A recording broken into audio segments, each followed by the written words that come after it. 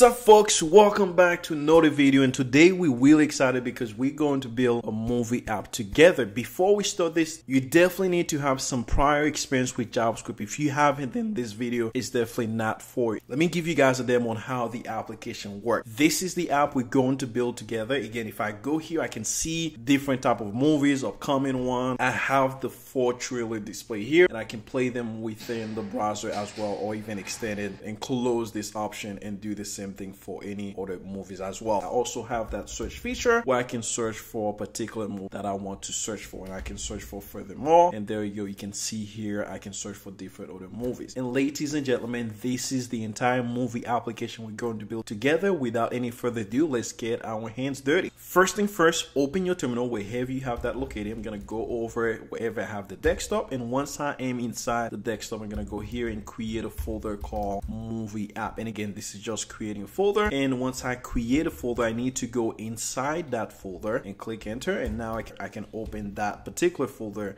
inside my favorite text editor or IDE again if you don't have that shortcut you can feel free to open it however you want to. But the idea is you need to open a folder where you can start coding your application. I'm gonna go here and start creating a couple file. Number one is create a file called index.html I'm gonna create one called asset. And within that asset folder I'm gonna have two folder one called JavaScript JavaScript and the other one called CSS. Within the JavaScript one, I'm going to be creating a file called app.js and inside the CSS folder, I'm going to create a file called style.css. I'm going to go inside the end. So I'm going to start writing some code. The title could be anything, movie app. And then here, I'm going to add something here, welcome to my movie app. Right click and open this one in your browser. And ladies and gentlemen, I have my application ready to go. I'm going to right click and go over inspect and make sure that you are under the, the console tab So once we have the HTML set up, I'm going to go and link the file together. And what that means is I'm going to try to link the CSS file and the JavaScript file inside the HTML. I'm going to go here and link the CSS file. It's located under something called asset. And inside the asset, there is a folder called CSS. And inside the CSS, I have a file called style.css. So I'll go here, uh, assets, go inside the CSS, and then pick the style.css file. Now to test this and making sure that this works perfectly, I'm going to go inside my CSS file and I'm to select a very basic class where I'm going to try to change the background to be something that I can visually see to make sure that at least the link is properly done. And if I go here, refresh the page, I should see the color change to red. So that means my CSS is properly linked. Second thing, I'm going to go back to my index.html and I'm going to go all the way down before the body. I'm going to try to link my JavaScript file together. Again, where is it located is inside the asset. There is a folder called JS and inside that folder there is my JavaScript file. So I'm going to go here, go into the asset, go inside that JavaScript file and pick that app file to verify this properly linked. I'm going to go inside my app.js and I'm going to try to console log something very basic like uh, hello world. And if I go back into the browser refresh this I should see this hello world into the console and I should be ready to go. Now if this doesn't work for you make sure at least they are properly linked because if they are then you can't move forward with this entire tutorial. Once that's out of the way I'm gonna go to my index.html I'm gonna start writing some code first thing first I'm gonna write a container div. This is where I'm gonna be putting everything inside of it and then I can uh, at least start putting my h1 right in there. Once I have that, I'm to have a form, and we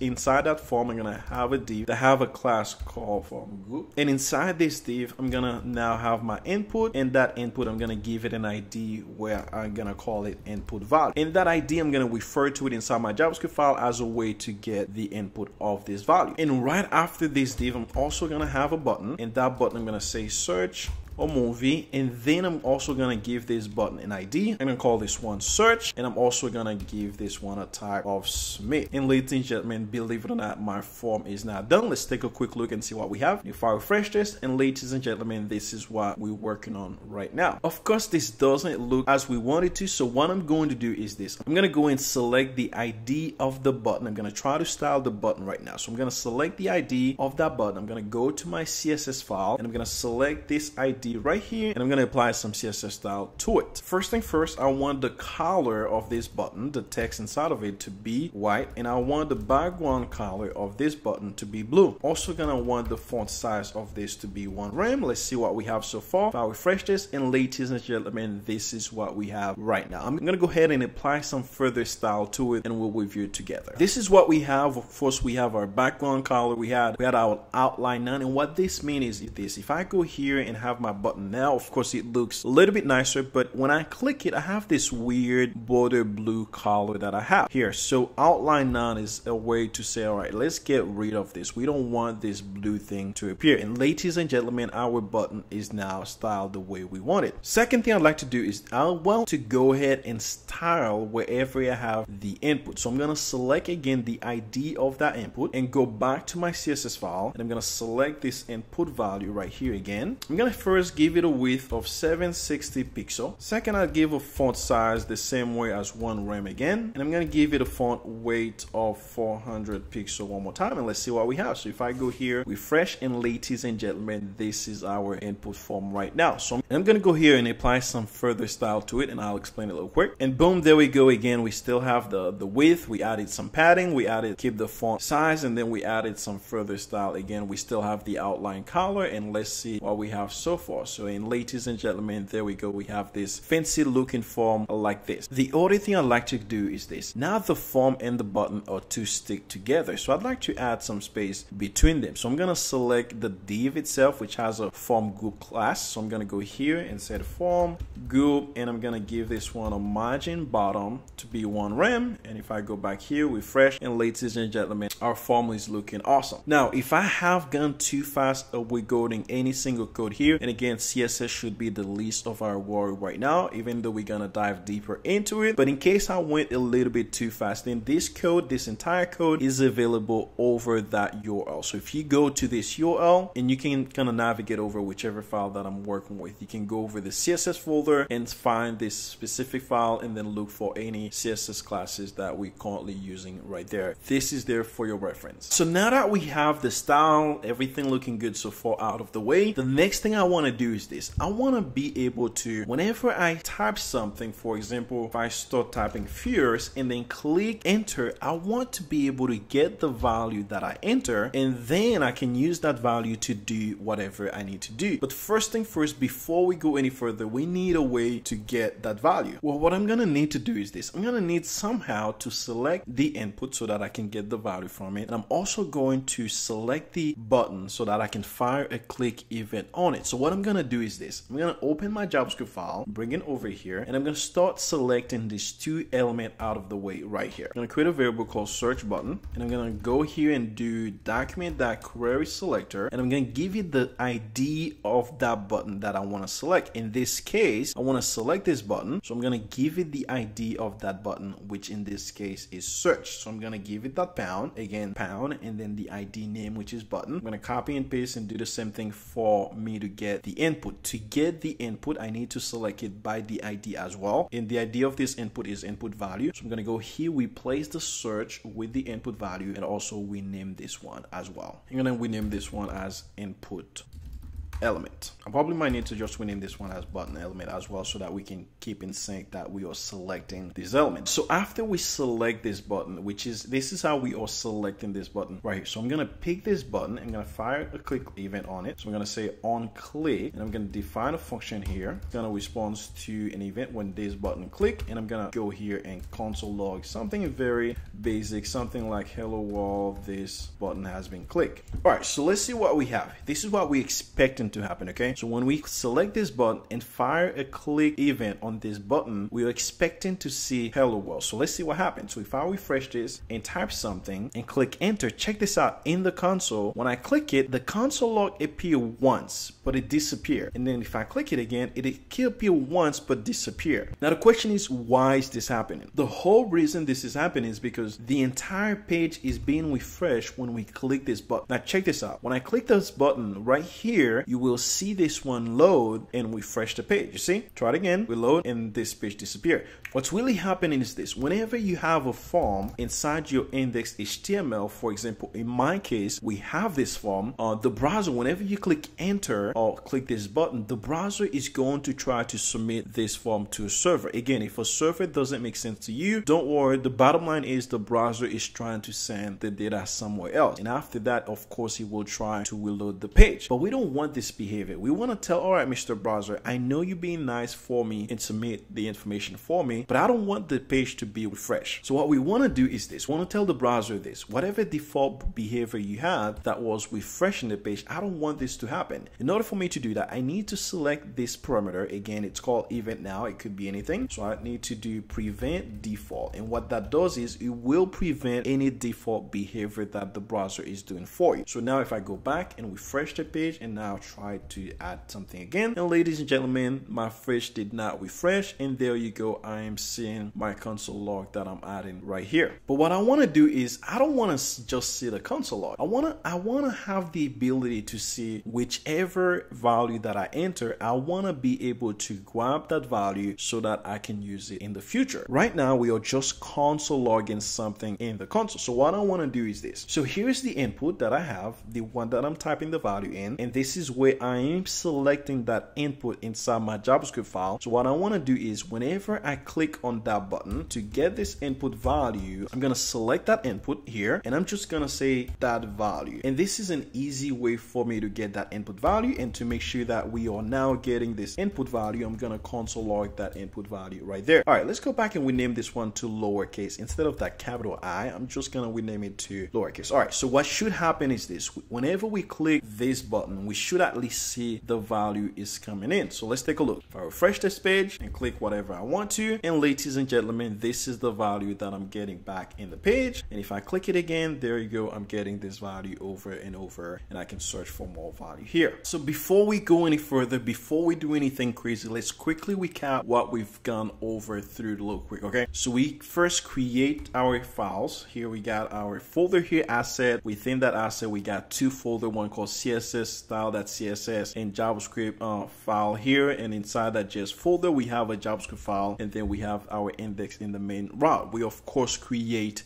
everything and dump everything into this container. And then we have our form and then we got that form different classes. And we went over inside that css file, and we style that looks like bootstrap but we're not using bootstrap for for this. We technically coding it with our whole coded value right here. Next thing is we go ahead inside our javascript file. We first select these two element in the page and the two element we're referring to is the input and the button. So we select them by the id of them. And once we select that id ID, of course, we now have this two button using the document that query selector and then we pass it the ID. And after that, we select the button and then we fire a click event on that button and we also disable the browser behavior and then we get the value which we are displaying the value inside our console. So what we really want to happen is this now, okay? So whenever we click this button, whenever we hit click, we want to be able to go and call whichever API that we're calling to get get the data back from them. And once we get the data, we can start thinking about displaying those images into the page. In order for us to do that, we first need to have at least a place where we can go and get those data. And we now have this place called the moviedb.org that is ready to give us all this data for free. Of course, we need an account. I already have an account, so I'm going to go here and start the whole process again in order for me to have an account. So feel free to fill those in. Once you're filling all, all this information, click sign up. Once you click that, it might looks like you have an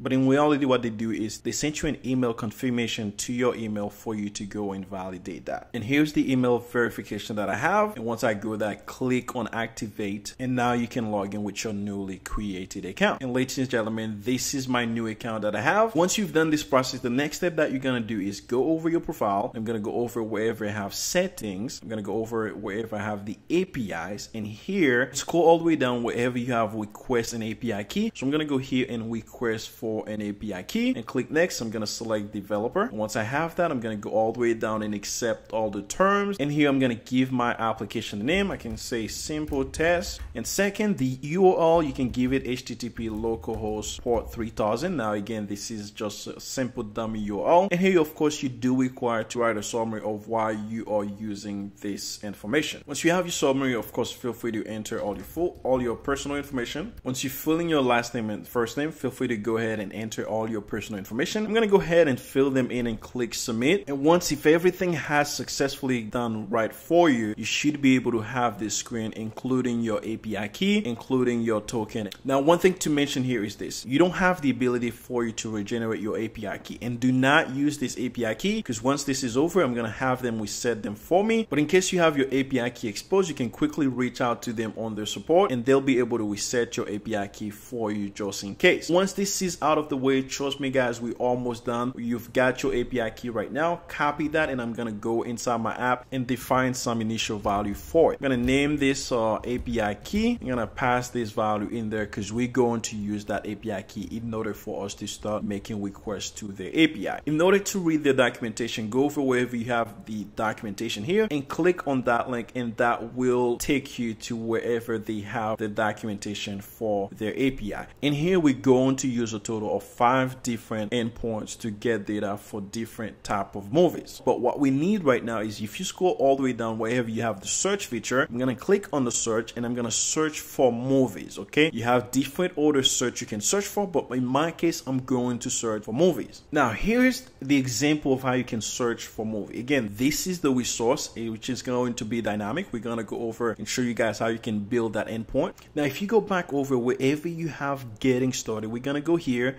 and under authentication, now they're gonna walk you through the example on how you can use that API to make requests. The one we use is this entire URL. So I'm gonna paste it back into a new tab and paste it right here. So wherever you have the API key, we're gonna replace this one with the API key right here. So I'm gonna go here and replace this one with the API key right there. And now you can go back to wherever you had the search, which is here, and then we're gonna search for the movies. And under here, here's the path that needs to be dynamic in order for you to get the data. So let's see how we can get some data first. So I'm going to copy this, right click and copy, go back to my new tab. And ladies and gentlemen, right after the number three, this is where the path is coming in. So I'm going to replace everything that is there all the way before the question mark. Again, everything right after the three, all the way before the question mark is regarding the path. So I'm going to replace this one with the path. And ladies and gentlemen, I have something here that is unique for me to be able to search for a movie. Lastly but not least, the last thing I want to do is I want to look and see how this search movie endpoint works. And here's some extra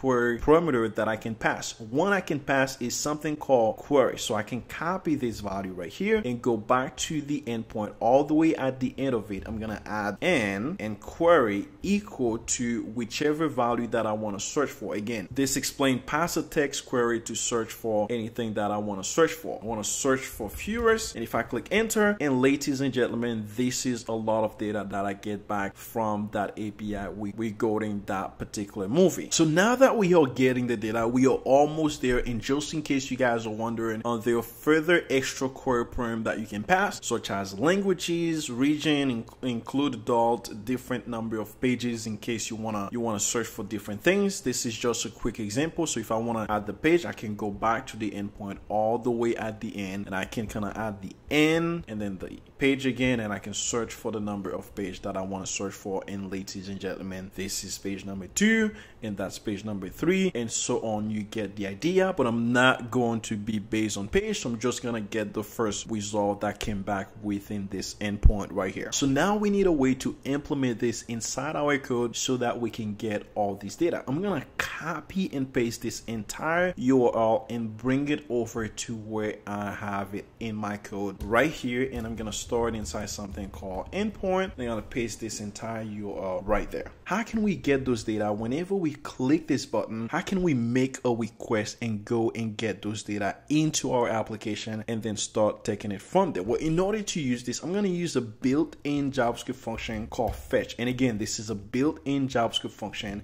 And the way you use is this, is you first pass it the endpoint, aka the URL of where you want it to go or where you want it to get those data. So I'm gonna pass it that URL. And second, you want it to return a JSON. In order for me to return a JSON, I need to first pass a param here and then say, all right, I want you to return a JSON for me. And whatever it get, it's going to convert it into a JSON. And I can come here and now receive those data into my console log as whatever they are coming in into that parameter called data. So this data here is going to represent all the data that we were looking at, which is this entire massive array that we have right there. Again, how we get the, the data is right here. So we just say data, and then we of course console log that into our console. Lastly, but not least, the catch section is just in case there is an error. Maybe the API went down, maybe we did something wrong. We also want to see what's going on in there as well. So I'm gonna go here and console log that error and here that's how we are referring to that error right there. And believe it or not ladies and gentlemen whenever now I click this button whenever now I click this button it's gonna go ahead and make an API request and get all this data and we should be able to see those data into our console right now. Now if I go back into my browser refresh this page and search for value such as null and click search there we go we now getting the result back into the page. But we got one issue here. If I take a look at all the title that are coming here, the value that I entered something called annual. But all these values, there is nothing matching to that annual. So what does that mean? That means by default, we are always making a request with this query value, which is furious. What we want is we want somehow for this value to be dynamic. So what I'm going to do is this. I'm going to go back, remove the endpoint here, which is this one. I'm going to remove this here. And now what I'm going to do is this. I'm going to oh, bring this URL. So I'm going to create a new value here. I'm going to call this one new URL. And I'm going to take whatever the URL we have, which is in this case, this URL. I'm going to plus and add that query value at the end of it. But this time, I'm also going to be adding whichever value that we are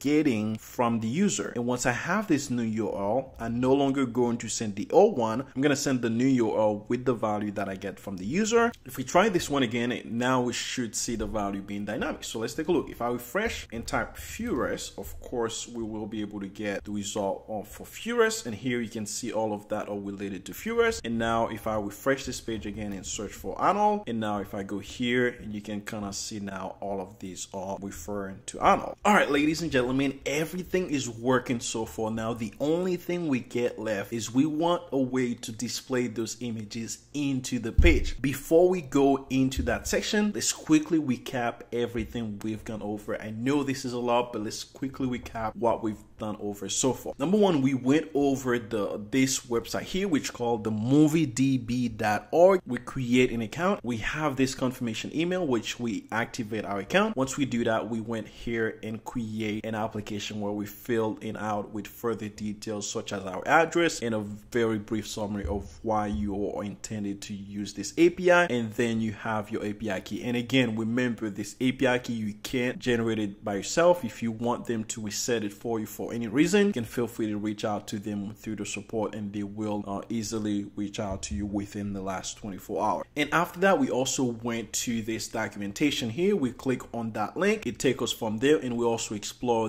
different uh, section of the API. The one we're currently using right now is the search movie and I can use this path to dynamically generate this, uh, this value right there. So this is the path that we generate dynamically based on different endpoints, such as we can get different ones. And we use that query string to kind of pass it a value at the end of it so that we can make a specific search for that value. And after that, we came back to our code and we use a built-in JavaScript feature, which we call that then to return the value in a JSON format. And after that, we use a another that then again to console log that value. And also if there is any error right now, we just go ahead and console log that error. Before we dive in, if you haven't made it so far, please feel free to rewatch the video and kind of go over any step that you might possibly miss. But if you've made it so far, let's keep on moving. So the next step that I want to do is this. Now that we are getting those data, and again, here's how the data are coming in. It's first, it's an object, which means this entire data is representing as an object. And what that means is if I expand that object, in order to get every single movie, I need to get every single movie from this value. So in order to get the movie, I need to do data that resolve and that will give me an array of every every single movie that'll come in. The fact that it's a list of movies, that means I'm gonna have to loop over every single one of them. And inside that movie, what I'm really looking for is this poster path right here, which is supposed to give me the URL that I wanna work with. So what I'm gonna do is this, I'm gonna create an entire function. I'm gonna call it create movie container and this entire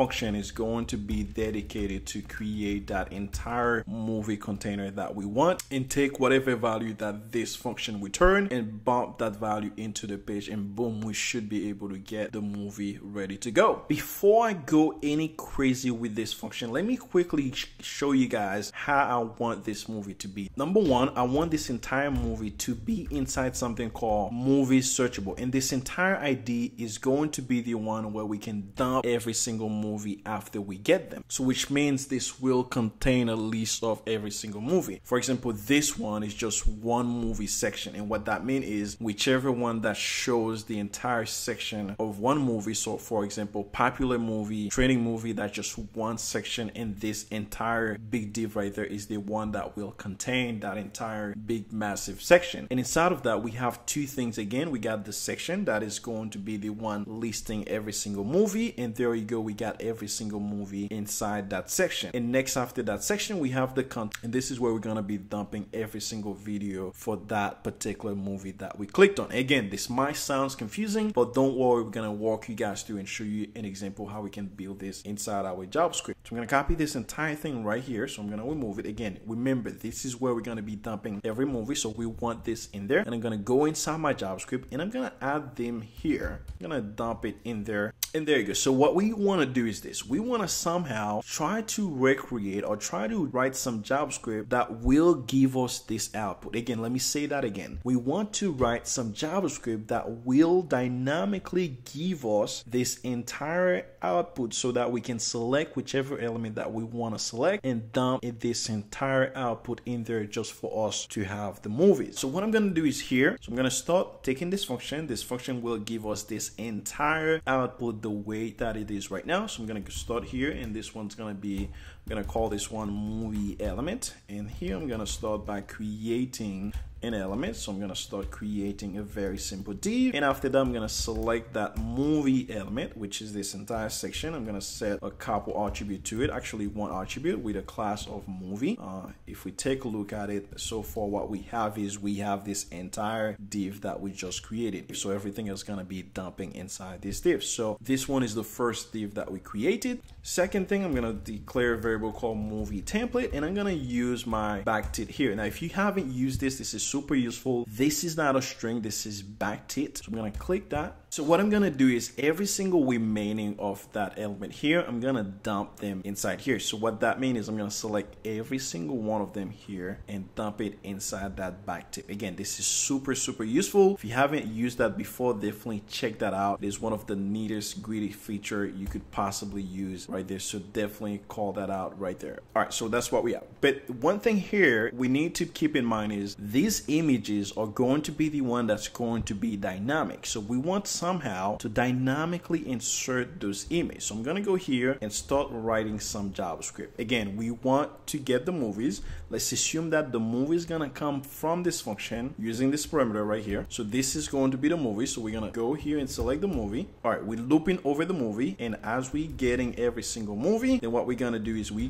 to return another backtick. Now, this might sound confusing. Again, we're to show you guys a better way to do that. Now, just bear with me, okay? We just bear with me, all right? Right? So we're gonna return another back tick, okay? So we're looping over every single movie. We're gonna return another back tick, and that back tick is going to be the one containing the image link, such as the source of that image. And if you look at that, it also has the alt value. We're not going to use that for now. Again, feel free to use it, but there is another value here called uh, the data that movie. So we're also going to add that, and this one's going to be containing the movie that I did. All right. So this one's going to be containing uh, the URL that poster path. If you remember the one we're looking for as we looping over every single movie. So we want to select the first element. And once we select that, we want to get the poster that path. So here we are getting the poster path by doing this. All right. Last thing that we want to do is if you remember this entire thing here was inside a container called div, which has the class of movie. So we want to select all of that, which is hey, this is the entire all of that. And remember, this thing was the div that we had for the movie. So I'm gonna select this one and I'm gonna append all of that to it. Now there is a trick whenever using the backtick, which is kind of tricky. You can't really append a child to it because it's not really an HTML element. It's just a string. So what I'm gonna do is this. I'm gonna select this element where I wanna add it to, which is movie element. So I'm gonna do movie that inner HTML. This is a trick, and I'm gonna add that template to it. Okay. And now after that, what I really wanna return is this entire class movie. Again, this might seem confusing and be like, what's going on here? But we almost there, guys. And again, we're gonna rewrite this into a better way just to kind of show you. Okay. So at the end of the day, this is how our function is going to be. All this is doing for those of you that asking is trying to replicate this entire div so that we can dump it inside the HTML. So we hoping that this entire thing here gonna give us the div that we saw. Okay, so let's rewrite this a little bit better.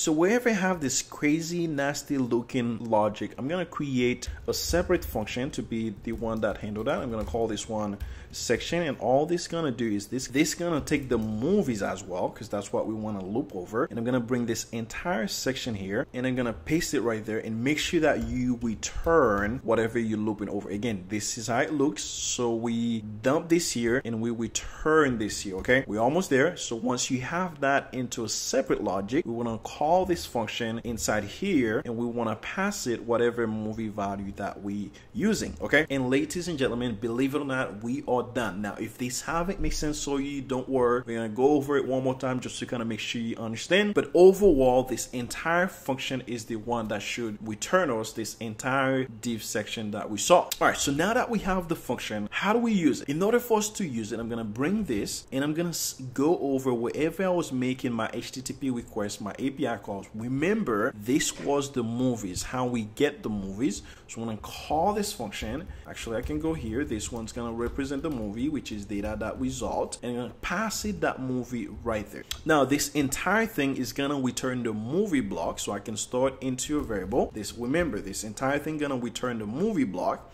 And now once I have this movie block, it's a matter of selecting where do I want to dump this movie block? If you remember inside our HTML, we had an element called movie searchable. So I'm to select this inside my JavaScript. So I'm to do the same thing here. So I'm to go here and select this value by the ID. And I'm to call this one movie searchable as well just for to have the same ID and I'm gonna select that element and remember this is the movie block so I'm gonna select this element here in a append child this entire movie block so I'm gonna bring this movie block and append it to here so crazy enough, here's what we're doing, okay? So we go inside the HTML and we select this element and then our JavaScript is doing some dynamic uh, value to have a look and feel and then we select that movie block and we dump it inside the HTML. So we dump that entire value inside there. So let's take a look and see what happened. I'm gonna go to the browser and minimize this and let's refresh let's test it. So I'm gonna search for Furious again. And now if I click search, it should dump those element in there, which it seems that it's working. So let's go inside our HTML and right click those element, inspect. And if I go here, here's what I was looking for. Remember our HTML called movie searchable.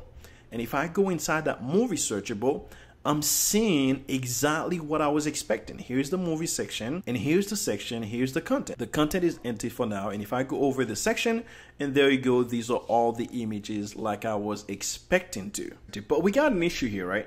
Number one, don't worry about this value that you're seeing here. Again, you can use some filtering, but what's happening is whenever you're using this uh, template literal here, it's acting a little bit weird. Don't worry about the string here, but the real issue is this, all right? The image are not being loaded the way that we were expecting. How can we fix this? Of course, we're getting the right value, which is, that's the value that we get back from, from, from the API. If we go here, that's the value that we get, but there is no image here, right? There's no poster. How can we get the poster display into the page.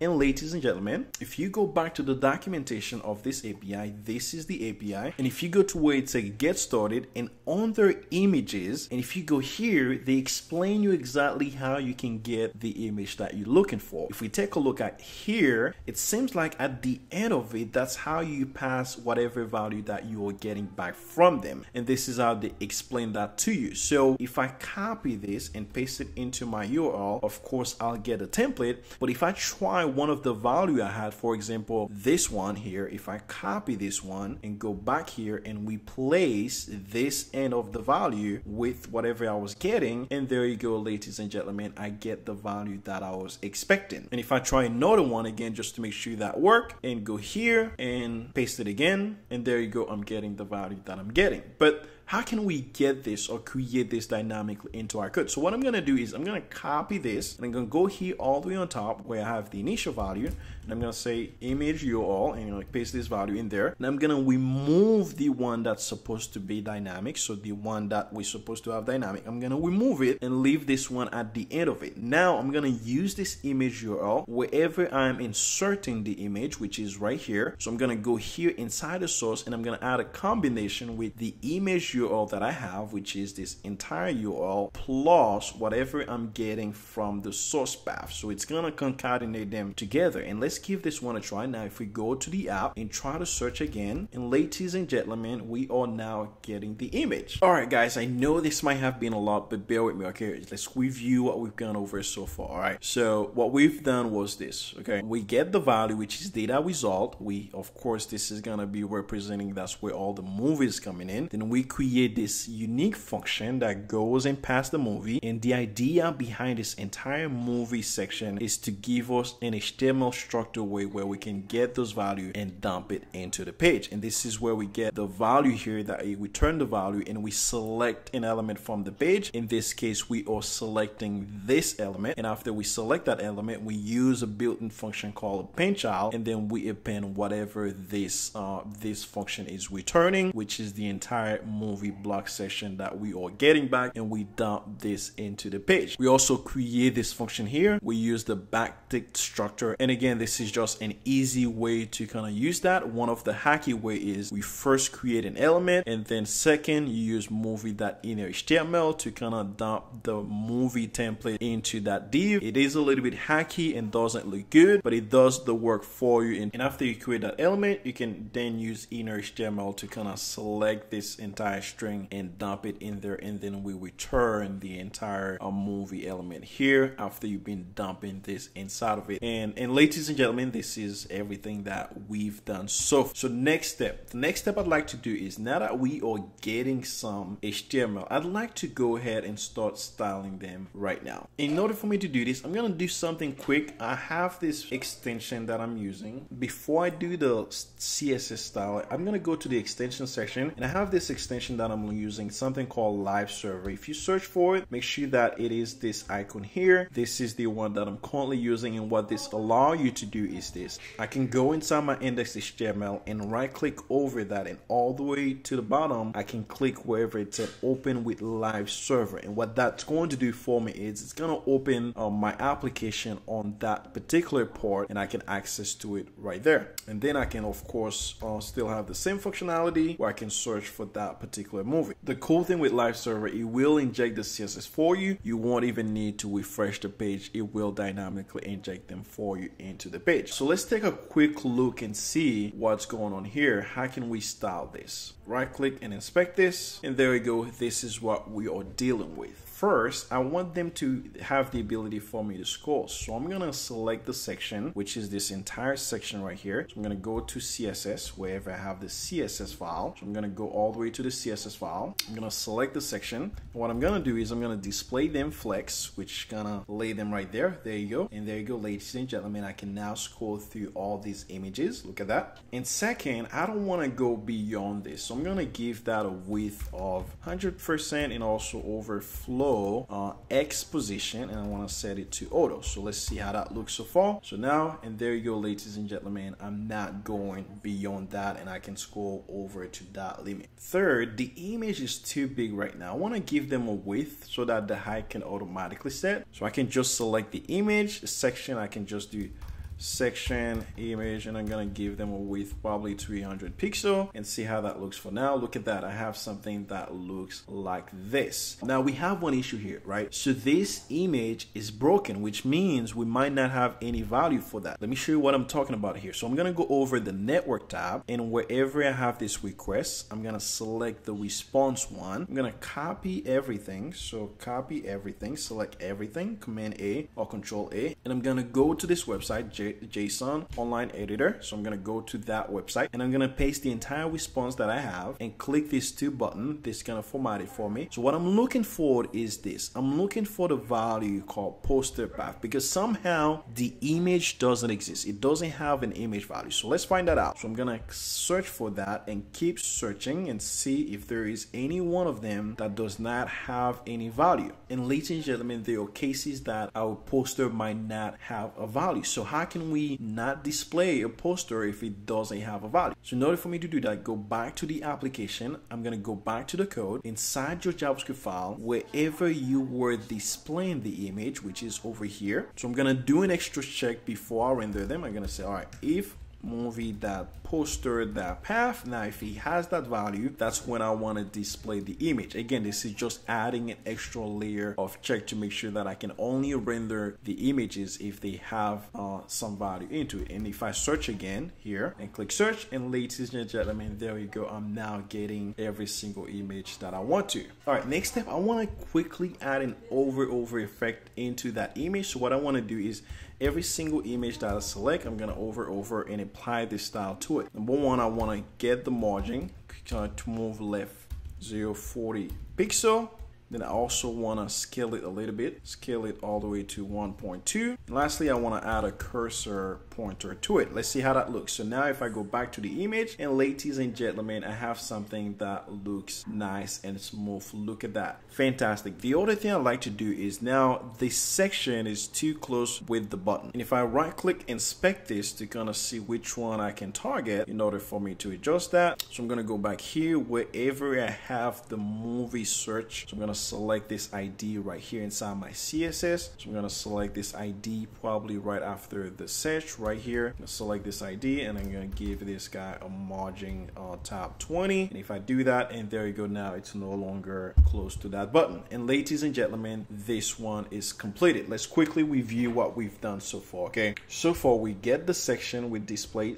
uh, text, only adding some CSS file. We're adding a width to it and also overflow auto so that it doesn't go beyond the width that we set. In case that it does, it will overflow from the X position. Auto. We also set the width of the image by setting it to 300. We also add some small various transition right there as well. And as we over over that, we also adding that extra layer to kind of move it to the left a little bit and transform it uh, from scale from one to two and also adding that cursor pointer to it. So what I'm going to do is this, I'm going to go back inside the app.js wherever I have this um, button on click function that I was doing inside the that then I'm gonna move all of this into its own function and you guys will see why in the future. But this I want to take this business logic outside of the that then in case I want to do some further testing to it or use it dynamically. So what I'm gonna do is this. I'm gonna call this one render uh, search movies. And here the value that's gonna be coming in is the data and we can technically move everything that was here into here. And now what we do we can indent that a little bit. And what we do is we use this search movie function and we move all of this function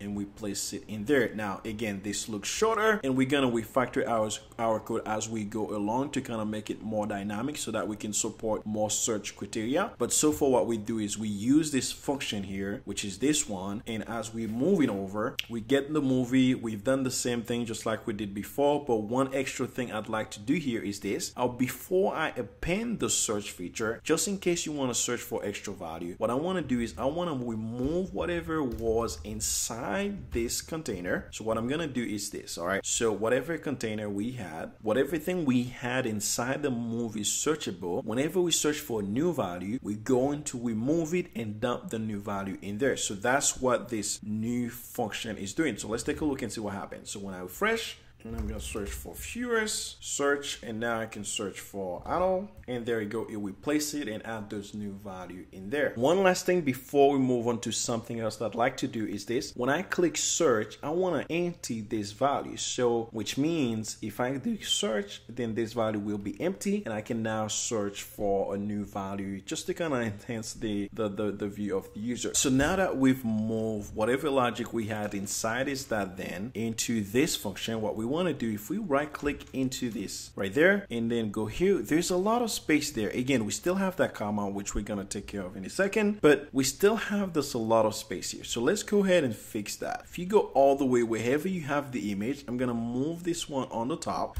I'm going to remove the spaces. I'm also going to remove any spaces between there as well. And I'm going to uh, actually click source, enter to the, go to the next line for this attribute and do the same thing for that. And I end up having something that looks like this. And if I refresh the page, search for something else again, and there you go, ladies and gentlemen. Uh, if I go here, I should not see any space at all into here. And there you go, I no longer see any space. Again, stay tuned. We're definitely going to remove that simple comma into the section uh, but just for the sake of this so far, everything seems to be flowing good end to end. Now, the next thing I'd like to do is whenever I click on this button, I want to empty this value. In order for me to do that is wherever I have the click button, which is this one here, so all the way at the end of the fetch, I'm going to come here. First thing first, we need to select that value. If you remember, this input value has an ID and inside our JavaScript, this is where we are selecting this input value. So we can technically do our input value value. We're to come here all the way to where you have the button click gonna input that value and I'm gonna set this value to empty and that should empty the input after we clicked on it. Let's see if that works. So now if I go here, click on that and there you go ladies and gentlemen, the input is now empty. So if you guys remember from the last example of the video we had, whenever you click on one image, again if you click on one specific image, there was a drop down there where you can see a video for that particular video video that you clicked and so on. First, we're gonna make sure that when we click on one image, at least we see something in the console. So how can we do that? Again, if I go back, right click and inspect this element, go back inside the source. So every single image is inside this tag, of course, called img tag. So what I really need to do is this, okay? This is gonna get a little bit tricky, but bear with me, guys. We're gonna we're gonna we're gonna get this, okay? All right. So here's what I'm going to do. Now, whenever I clicked on the document, again, those images or things that are new that got added to the page. Whenever I click with the entire document and my target is an image, that's when I want to display something inside my console. Now, this might not make sense for now, but bear with me. We're gonna do this live and you'll see what I am talking about in a second. But check this out, right? So if I select an image, so what I'm gonna do is I'm gonna say image element and I'm gonna select only one image for now which of course will be the first image that I have so if I try this and pick that image and go all the way at the end of it and then add a click of function here. Let's see what happens. So technically, whenever I'm searching for any image element, at least one, I can of course do select all. And then whenever I find that element, I want to listen for a click event on that particular element. And whenever we clicked on it, I want to see hello world inside my console. But let's take a look and see what happened. First thing first,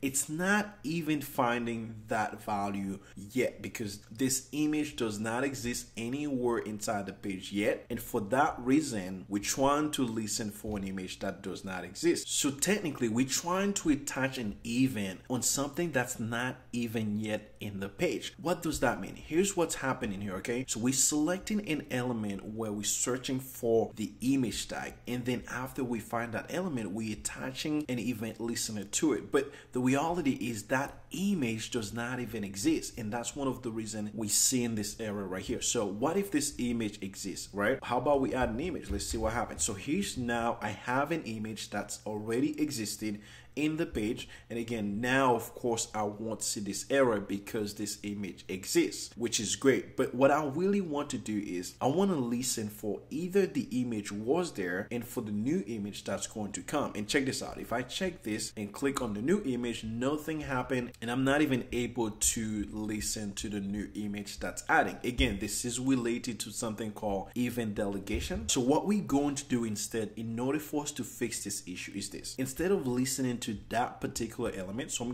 to get rid of that element. So I'm technically to go here and delete this element. I'm to go here instead of listening for that element, I'm going to listen to the entire document object itself. So I'm saying, all right, whenever we clicked and the whatever we clicked on our target, that's what that's how we're gonna identify what we clicked on is by saying target. Okay, whatever target that we clicked on, we're gonna add an extra check to check and see, all right, is the target that we clicked on an image? In order for us to do that, we're gonna search that by the tag name. So we're gonna say tag name and we're gonna convert that to lowercase because every single tag name is by default capitalized. So we're gonna say, all right, if the target that we clicked on, which means whatever we clicked on, if the tag is actually equal to an image tag that we clicked on, then we go into console log hello world. Let's see if that happened. First thing first, search for a movie, and then now we have the image. If I clicked on this, and ladies and gentlemen, I am seeing hello world in the page, and I can click on every single image that I want. So here's what I want to happen. Before we do that, let's add some style for you guys to see what I'm really really talking about. So if I go inside the content uh, here, there is a content section right here. So I'm gonna give that some style for you guys to see what I'm referring to. I'm gonna select that content style and kind of give it a border of one pixel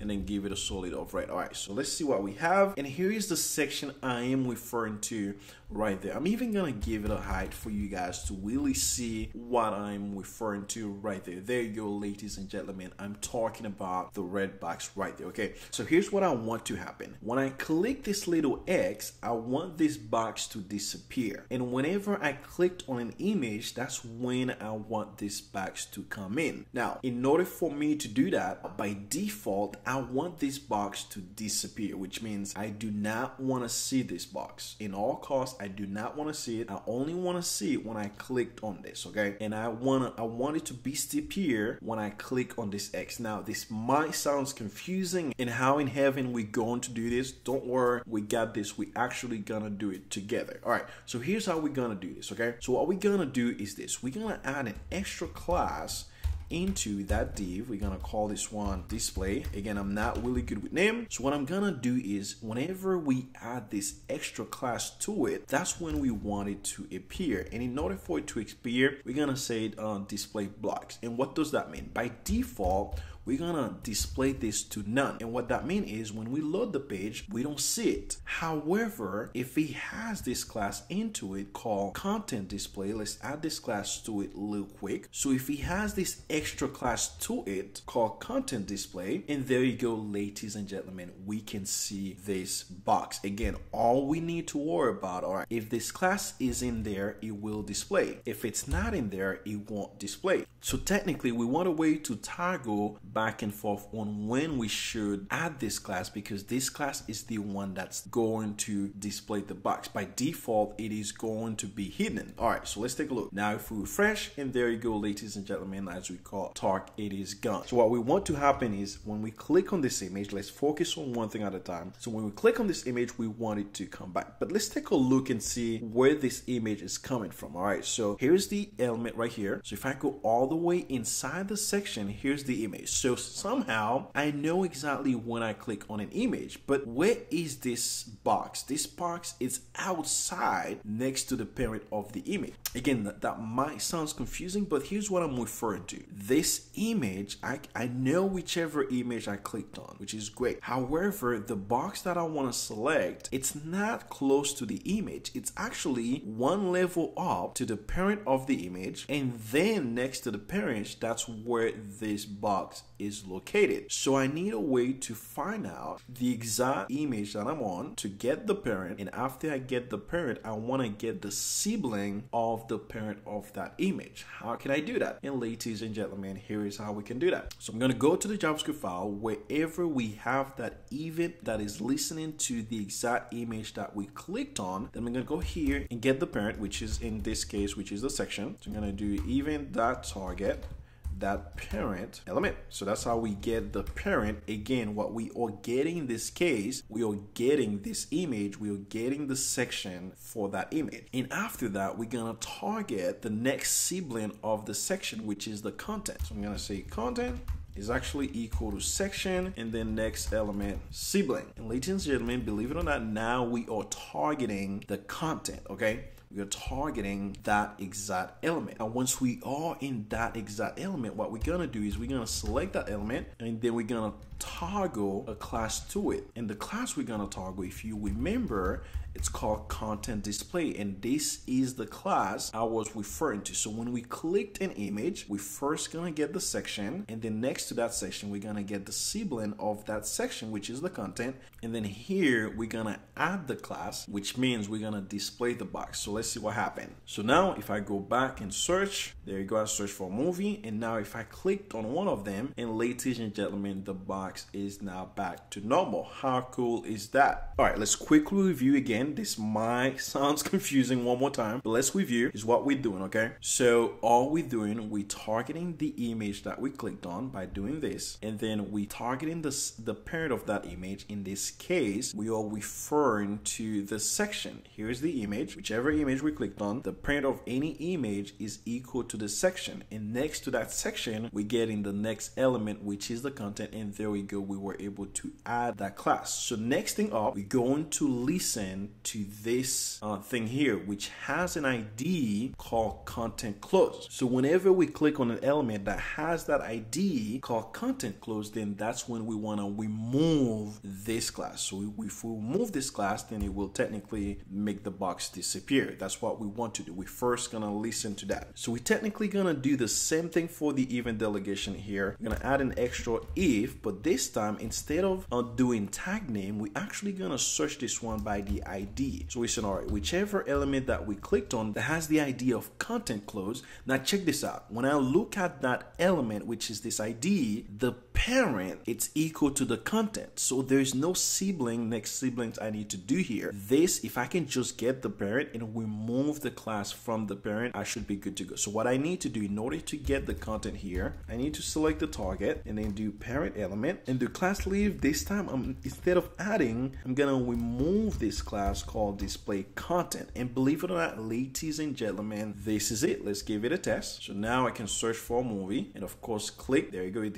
it comes. And if I click that and there you go, ladies and gentlemen, it disappeared. Let's do it again. Click that, boom, it disappeared. Go back again and boom, it disappeared. Ladies and gentlemen, this work is completed. I know this might have been a lot, but let's quickly review again, making sure everybody's following along, okay? So what we've done so far is we've understand, all right, we can select the element and try to do a click event on it like we try to select the image element. However, the element wasn't even existing, which means when we try to do a click event, it's even equal to null, which means the event cannot even attach to an element that doesn't exist. So we're having an issue of adding that image. So what we do in this case is we deal with event delegation, which technically instead of listening for a particular element, it listens to the entire DOM document, which means this entire page. And whenever we clicked on it, it's it's selecting the target that we clicked on. So whichever one that I clicked on here is going to be the target. So we pick that target. We say, all right, is the target has a tag name equal to image? If it does, then we get the parent of the image, in this case, which is the section, and then we get on the next sibling of the section, in this case, is the content, and after that, we add that class to there, and that class will allow it to display that block that you saw. And, and lastly, but at least, we also do a node check and say, all right, if whatever we clicked on has an ID is equal to close. If it does, then select the parent. In this case, the parent of that target is equal to content. Then we move whatever class that we had on. And ladies and gentlemen, gentlemen, this was the quick review. Next up, again, what I want to do in this case is when I clicked on that, I want to be able to find every single video attached for that particular movie that I clicked on. And again, the same thing for that. And once I find that, I want to dynamically inject those video into there. That's going to be the next target we're going to be working on. Again, all I need is when I clicked on an image, I want to find that video attached to it. But one thing here is this. If I go inside a container, inside every single image,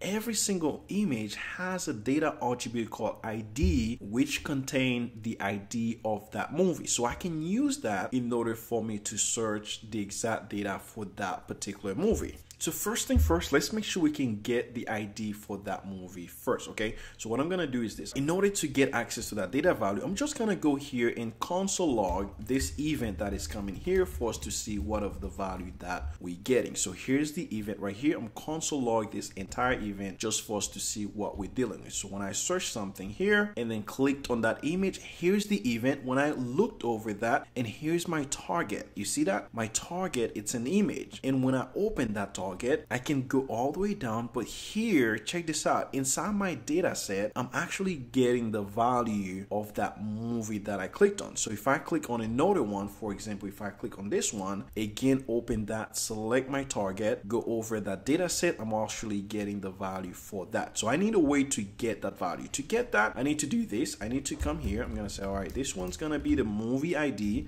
I'm to get the target, this case target. Once I get the target, I'm to do data set again all of that is lowercase. Make sure it's lowercase. Did I case uh, target? And then I'm gonna get the movie ID so here's the movie ID that I want to get. So I want to get the movie ID now let's console log that to make sure that uh, movie ID to make sure that we get all getting the right movie. And I'm gonna go here and uh, comment this out for now and let's try that and see if it works. So search for that movie, click on that and ladies and gentlemen, this is the movie ID and this is every single movie ID that I'm getting. How cool is this? So next up, I need to head over the movie DB API, over setting and then over API and over documentation here and the value that I want to use this time is wherever they have the movie. And here I'm going to select get videos. And this is how I can get the video. Okay. So if I select, if I pass the path movie uh, and then the movie ID slash video, I'll be able to get the videos for that movies. So how can we do this? So if you guys remember from the last time we had the APIs, if we go here, all this API, if I copy and paste this,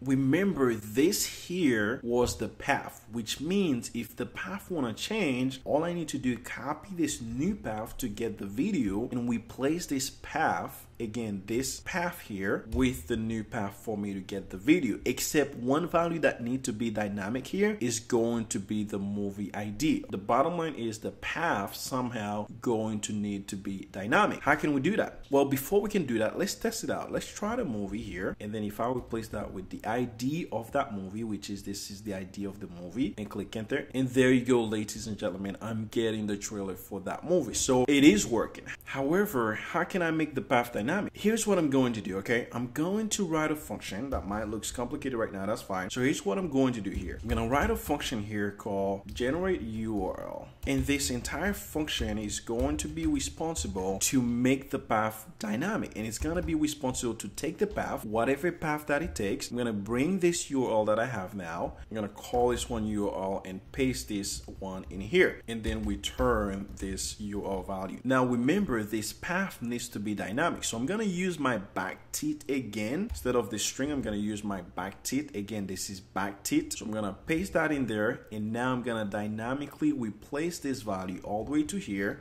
and I'm gonna replace it with whatever value that we pass whenever we are calling this function. So every time that we call this function, if we give it the right path, it will give us the URL for whatever we wanna work with. So let's test it first with the search. So I'm gonna go wherever I have the search feature. This is where I have the search feature. So here, this is where we were generating the URL. Instead of generating this URL, I'm gonna define the path for my movie. So here's the path for searching movie. If you remember, the path for searching movie was this. So I'm gonna set that path right here and I'm gonna try to generate the new URL with the function I created. So I'm gonna pass it this path, which of course gonna return the URL and I still need the extra value that I needed, such as the query param. So technically, uh, every single time that we pass this path to this function, it will create uh, the this entire URL for us, including with the API ID, and that should still be working exactly as it is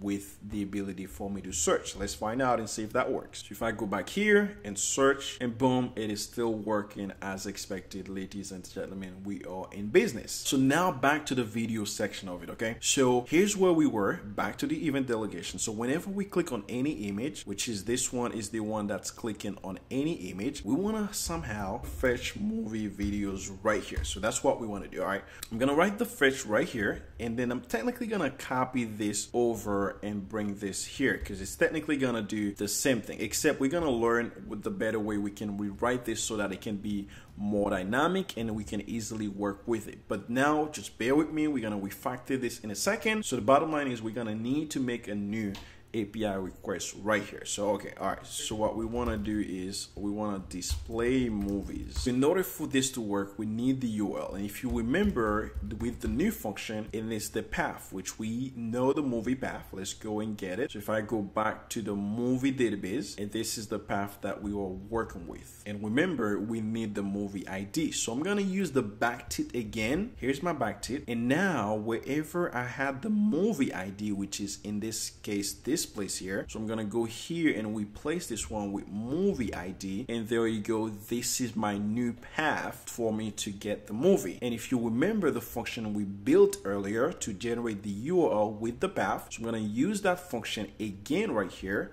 So I'm gonna now have this URL and that's gonna be generate URL and pass it the path. And ladies and gentlemen, that should give me the correct URL in order for me to work with. And once I have that URL, I can pass it down the fetch and boom, that should be how we make our movie call to get the movie. Let's see if that works. So if I go here and display uh, the data, and that should technically be videos, and let's see what happened. Go here, I'm gonna search for movie again, Furious. So now when I clicked on any image, it should go ahead and make a movie request API calls. And ladies and gentlemen, there we go. We are getting resolved for that particular movie that we make the call for. And if I go again and make another call, it's making the call for every single movie and that is working as expected. So let's review what we've done so far, okay? So whenever we clicked on the document and we clicked on any image, we are getting the movie ID. And once we get the movie ID, we generate the path of where we want the URL to go. And then we end up having the URL of where we want to make the request. And then we call the API, which we get the movie back for that. And what we do is we also write a function that makes generating the URL URL based on the path much more dynamic so that we can work with down the line. So the next step is I want the ability for me to display the movies into that section. So here's the section I clicked on. Whichever one I clicked on it, I want to display the video right there. So in order for us to display the video, let's find out how we can get the video first. So if I look at the response that I do get back from that API, which is the movie DB API, I have a key key here. So this key that I have, if I head over YouTube again, youtube.com and slash embedded and then slash the ID of that key. In this case, if I go back here and click that one here, and there you go, ladies and gentlemen, I'm getting the entire full video that I want to watch. And in that case, I can take that video using an iframe and embed that video into the page. In order for me to test this, I'm gonna head over jsbin.com If you head over this website, and I'm gonna create an iframe real quick, and we're gonna use the iframe to embed that video into our page. I'm gonna copy the URL of that movie,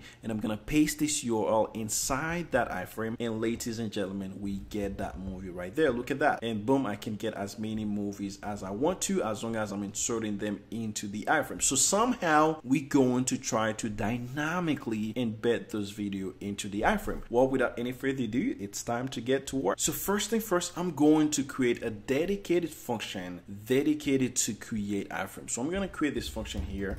I'm gonna call it create iframe. And all this going to do is this gonna take the video that'll come in because I'm gonna need a couple things from that video and I'm gonna start by creating the iframe here. And then within the iframe I'm gonna add it the source of that video. So it's going to be that URL that we talk about https slash youtube dot com slash embedded and then slash the video key. Again i'm gonna be using my backtick i'm gonna use the video key right there now make sure you do www.youtube.com just in case you got some weird bugs uh, that can happen. You never know. So I'm adding the source and then after that I'm also gonna set a couple audio property. I'm gonna set the width of that to be 360 I'm also gonna set the height of the iframe to be 315 and then after that I'm also gonna allow that iframe in case the user wanna uh, play that iframe into big screen. I'm gonna set that value to be true and once that's done ladies and gentlemen I return my iframe. So every single time that I call this function and pass it the video value it should go ahead and return me an iframe with that video. So what I'm gonna do now now that I have an iframe is this. I'm gonna go over the value that I get back from the API for the video. So here's the value. It's an object. Again, I still have the result. So here's the result that I have. For that one, I have three results. Now, keep in mind there might be cases where we don't have any video for a particular movie. So keep that in mind. We're going to write cases for that. But the bottom line here is here's the array that I'm getting for the movie. So I'm going to loop over that array. I'm going to go here.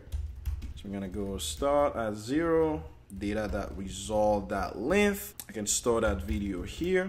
I'm gonna say this one's gonna be the videos and now I can loop over that video right there and then I'm gonna go by one. Now there's one thing here, I don't wanna loop over every single result. For example, this one has more than five or six, seven. I don't wanna see all these trailers. I wanna only see maximum four trailers. So what I wanna do is I wanna set the length as a property that's gonna decide either or not to go to four or to go to anything that it has. So I'm gonna say, all right, if the video that length is greater than four, then I'm gonna pick four. Otherwise, I'm gonna get whatever the video that length is. If the video that length is greater than four, then pick just go over four. Otherwise, if it's less than four, then pick whatever that value is and then loop over that value. For example, if the video is two, uh, maybe it's one, then it's just gonna go ahead and loop over one, two, three, and maximum three or uh, four videos. And then we pass that value right there. Okay, so as we looping over every single video, remember we still have the iframe right here. So now to represent this video, one single video is going to be that bracket I, and that's gonna be representing every single video that we are. Now we can use the iframe function that we created, create iframe, and we pass it the video. Okay, remember this one is gonna return us an iframe. Now one easy thing I can do here is every single iframe I can dump them into a div so I can probably call this one iframe container and this one I'm gonna be creating a new element for this which is gonna be a div. And what with the idea behind this is I'm gonna dump every single iframe within that div. So I'm gonna append child and every single iframe we're gonna dump them in there. And last thing in order for us to start seeing those video the only thing we got left right now is we want to select the current content that we are which means whenever we go back to this page this current content this red box right there that we are right now we want to select that current box and we want to dump the, the iframe container into that box. So here's the current content. We're going to select that content right here. All right, guys, bear with me. We're almost there, and we're gonna dump that iframe container. And ladies and gentlemen, believe it or not, that should at least start pumping some video into our red box. Let's see what happens. So first, search for a movie. There you go. We have a movie. And if I click this one, and here, and ladies and gentlemen, here are every single movie that we had, like we talked. Okay, this is looking great. So what I need to do now is this. So if I right click into this entire container, let's see how it's the element is being done. So so here is the content. So there is a div section and that's where they're being done. So what I'm gonna do is I'm gonna head over my CSS file wherever I have this content. I'm now gonna remove that height because I don't want them to, I want them to kind of go within like however tall they are to go that tall. And second, I want to select that content div, start displaying them flex and justify content, space around that, and then flex wrap in case they want to wrap, let them wrap. And we want to align them cent, uh, item center and then give them some space between them 10 pixel and let's see how it looks. And look at that. Now they are in the center and of course if this go big and they wrap as expected. And I can watch that as what I want to. And ladies and gentlemen look at that. And of course we can close it if we want to. But if I close it now and go back and try to open it but we have an issue. It's trying to add more item that we don't want. So what we want to happen is this. Uh, every single time that is trying to dump them into here we want to empty this entire section but we still want to keep this little X right there so in order for me to do that what I'm gonna do here is this I'm gonna move this entire big logic into its own function and I'm gonna call this guy here create video template. First, this guy's gonna take the videos and then the content that we wanna pass it. And we're gonna move all this logic down here all this one into here. Again, we're gonna move all this logic to here. We're gonna have this function take two parameters. Now here, we wanna replace this one to do this. Now we want to pass two values here. First, we want to pass the data that are coming in from the API. Second, we want to pass the content. So we passing this content to this function right here. Second, we want to take the data that are coming in from the API and that's what we are passing right here. And then we need to replace this one. This is no longer going to be the video. This is going to be the data that are coming in. And then from that, we get the video. And of course, our logic continue as if it was working before. Now remember that still working great, but we still have that issue. If I click it again, it keep adding more video into that. We don't want this. We don't want this behavior. What I want to do is this. Remember, we want to empty everything. However, we still want to keep this X right here because this is the function that closed this and the X is just a P tag. Okay. So what I want to do is this. I want to replace everything that is inside the content with that first P tag, which means I'm overriding everything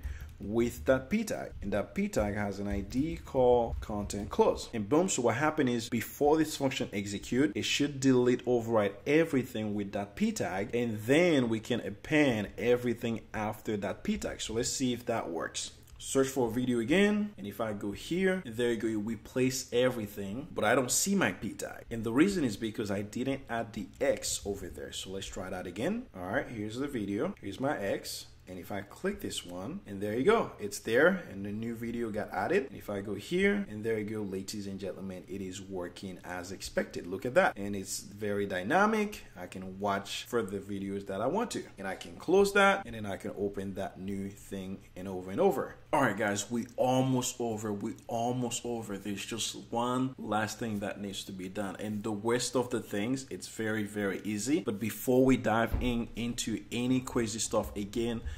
let's quickly review what happened. Um, we again every single time we get the movie id we search uh, we generate a new url we search for the video of that and then we pass certain value to this function. Uh, to this function here we pass in the data and also the content. First thing first we override everything with this x and after that when we get the video from the result we only display no more than four videos and then we build our iframe and after that we loop over, over it and then dump our iframe into the page all right in order to add more functionality into our page we're gonna definitely need to go ahead and we factor some of this code before we can add uh, more section into it. Number one i'm gonna refactor the fetch. So how can we do that? I'm gonna go all the way here wherever we have this section right here. I'm gonna create a function called request movies. And this one's gonna take three params first it's gonna take the url and a function called oncomplete and another one called an error. And these are going to be the two functions that happen when everything succeeds. And second is in case something went wrong or we got an error. And this entire function, what is going to be responsible for is get whatever the search, the search that we have and paste it in here. So now, instead of searching for new URL, we're gonna pass that URL right there. Instead of passing a function, because we can use any type of function to render uh, different ways that the data are coming in, I'm gonna pass it the onComplete complete flag. And second the same thing for the on error because we can also pass different function to handle different errors. This function is going to be responsible for us to use whenever we want to request for new movies. Now, how can we use it? The first thing I want to do is I want to create a function called search movie. And this search movie is going to take a value as a param, which means it can search for any movie. And we're going to use our new created function called request movie. And remember, this value is going to take three param. And the first one is the URL. The second one is what we want to happen when everything succeed. And then the third one is just in case there is any errors. So first we need the URL. How can we get the URL? So if you remember here, this is where we're generating the URL for us to search uh, for movie. So I'm gonna bring that URL over there, the same thing, that's how we search for a movie. And then after that, I'm gonna pass that URL down to as the first param. Second, what do we want to happen? In this case, we wanted this function to happen called render search movie. So this was the second param, which is the onComplete, okay? This is the second param, onComplete. And third is in case there's an error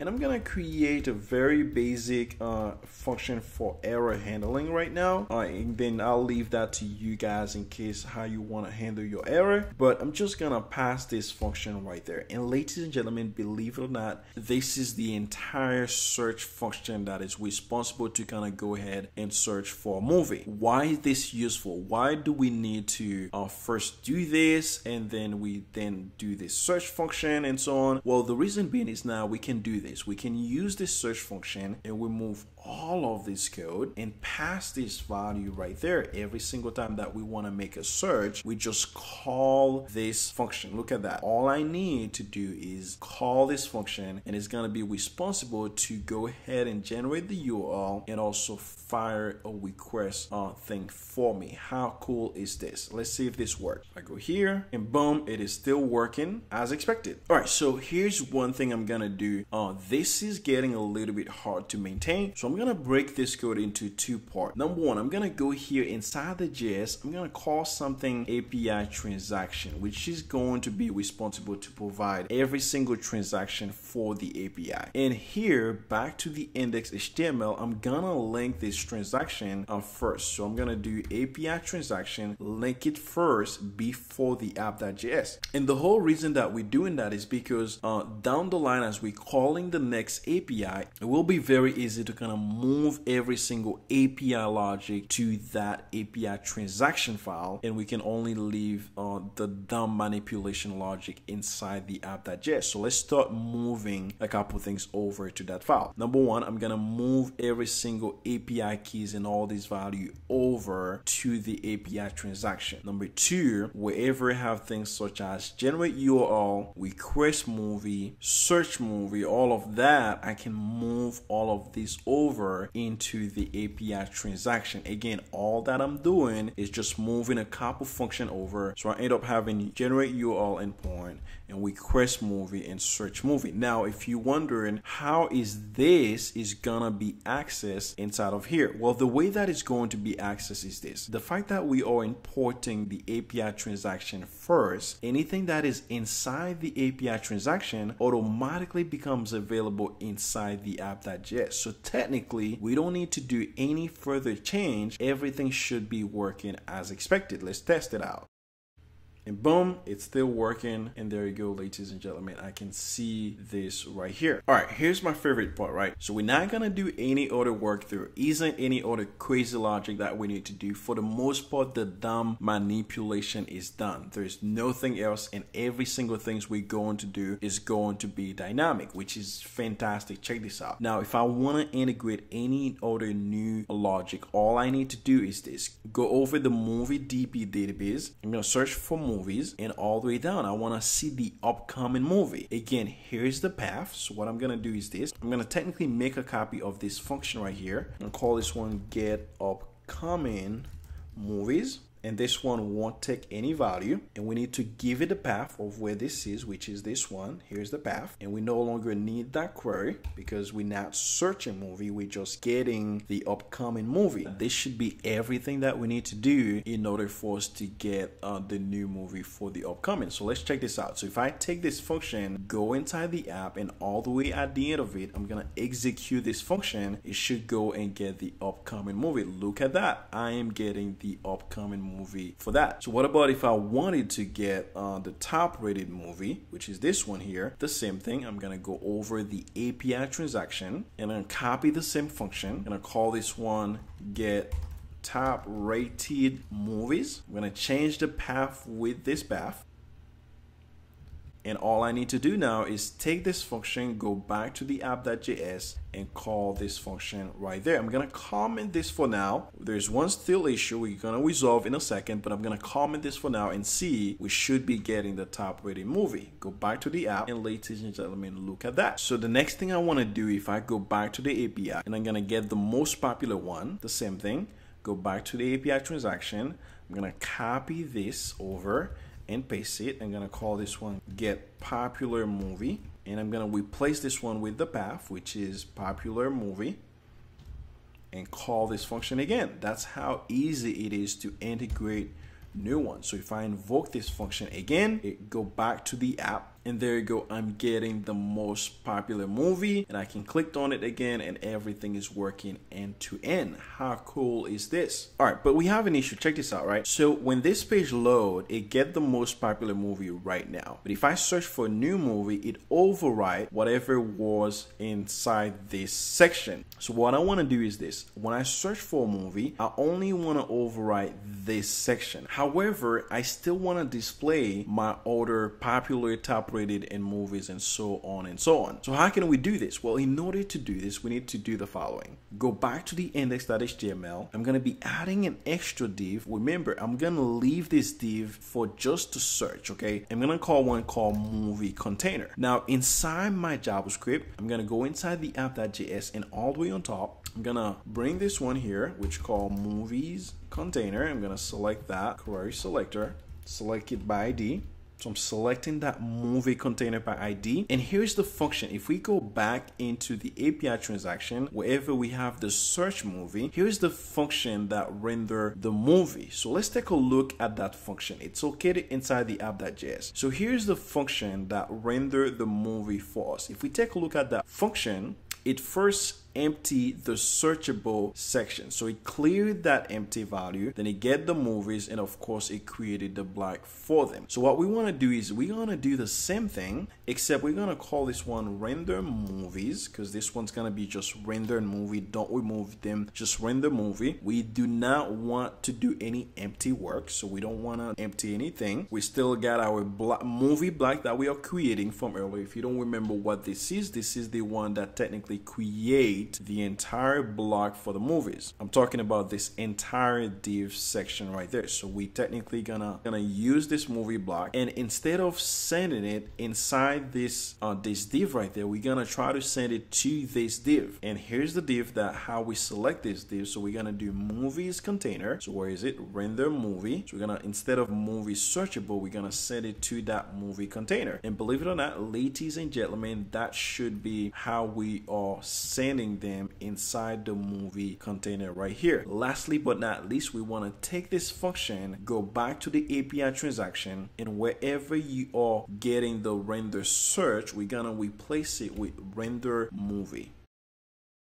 And boom, ladies and gentlemen, the only one that hasn't been changed is the search movie. However, every single one of them here is being replaced with render movie and render movie, render movie, except the search one is being replaced with render search movie.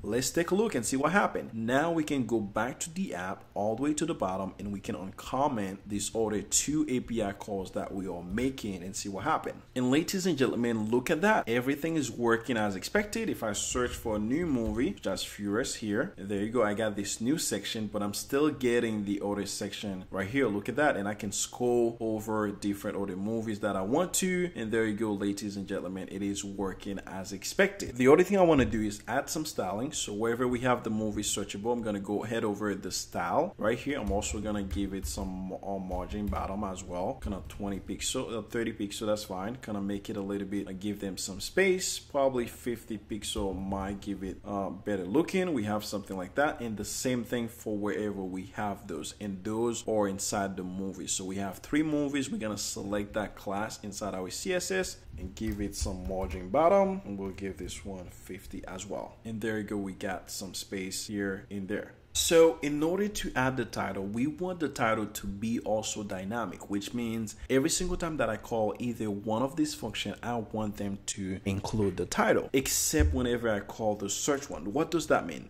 If I call this function, it should also include the title. How can we do that? Well, one way we can do that is this. If I go back to the API transaction, wherever I have all these functions, one thing I can do is this. This function called render, if I take a look at that render function inside the app.js, here's this render function. And this render function is using this function right here. And inside this function, this is where every single thing is being created. Inside this function here, this is where the entire section is being created. So what I want to do is this.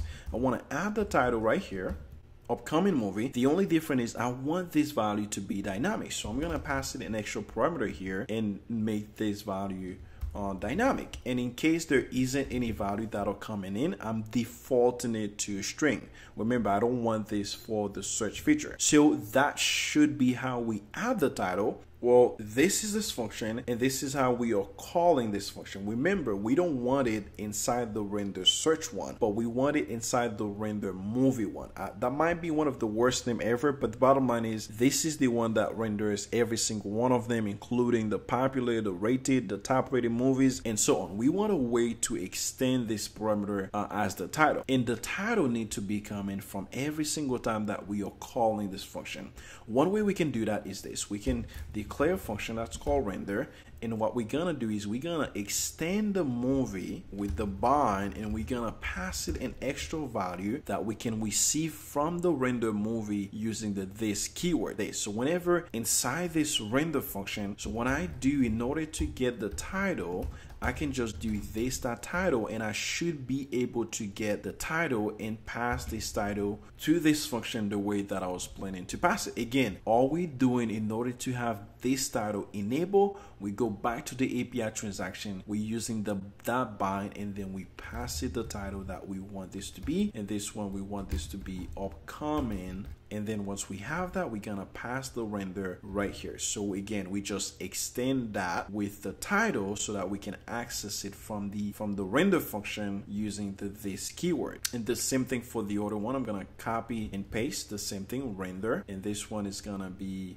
top rated movie and we're gonna pass that render right there. And the same thing for that. Copy that paste it in there and i'm gonna this one i'm gonna give it a different title called popular movies and I'm gonna pass this render right there. And ladies and gentlemen, let's see what we have. And boom, there we go. We have the upcoming title, the top rated movie, and the popular movie. And now if I search for something, the search one doesn't have that title. One thing I'd like to improve here is I want to search for something when the page loads. So when the page first loads, by default, I want to search for value. So what I'll do here is this. So wherever we have this function called search, which is this function right here, I'm going to use this function here, go back to the app, and wherever we have this three function, I'm going to call this search before it. I'm going to search for Spider-Man by default. How about that? Let's see what happened. And boom, look at that. Ladies and gentlemen, I'm searching for Spider-Man. Now, if I over over that, I can watch the Spider-Man video. I can over watch the further video that I want to. Uh, and then I can close that and so on. I can open that again and do the same thing for that as well. I'd like to go here and remove that red color. It's kind of annoying. So let's go ahead and get that done. So wherever we have the content, I'm going to replace this one with a lot light gray, something like that, and now it looks much more nicer and possibly give that content some padding. Looks nice. There you go, much better than that.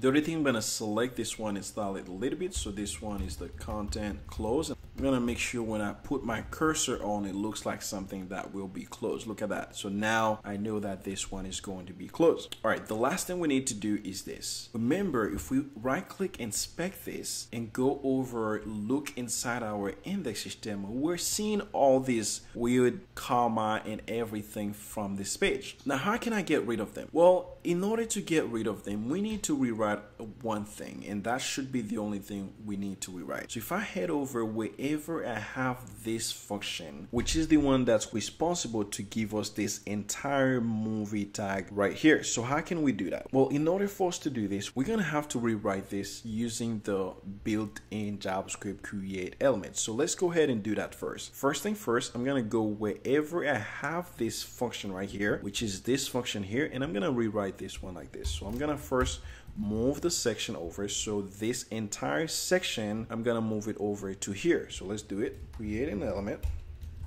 I'm gonna call this one section. This one's gonna have a class. I'm gonna give this one a class called section. I'm gonna do the same thing for the image. Here's the image, and I'm also gonna add the source for that image, which is this one right here. And the same thing for the data movie. So I'm gonna refactor that to be like that.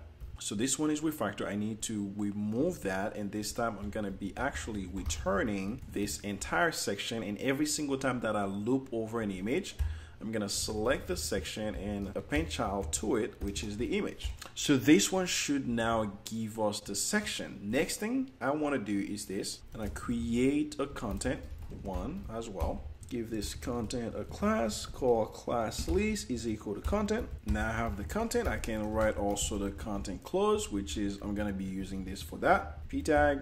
We also need the header section, inner HTML, whatever that title is. All right, so we got the header, we got the content, we got the content clause, and inside that content clause, I'm gonna select the content and do inner HTML and add that content clause in there. So we got the header, uh, we got the content, and we also got the section. So it's a matter of appending them into this element to have the same thing we had right here. So let's remove that. And now we're gonna do this. This is gonna be the section, movie section, and we're gonna pass it the, to the movies. So after we pass it that movies, and now instead of doing this, we're gonna do this movie element, which we're gonna select this element like before. And first thing first, we're gonna append child, append child the header first. And then after we append the header, we're gonna also append the section and we're gonna also append the content. And ladies and gentlemen, that should be it. And we should not see any of that weird comma that we were seeing earlier. So there you go. I right click this and inspect that element, and there you go, ladies and gentlemen, we don't see that weird comma anymore. Everything looking good. And there you go. We should not see anything. If I click that, oops, we got an error. So I'm gonna, this is because of that uh, attribute. So we're gonna, we do it. So we're gonna set image is equal to set attribute and we're gonna pass this attribute here and we pass it that movie ID and that should fix that issue. And look at that, it is working as expected. This is everything I had for you and see you guys in the next video.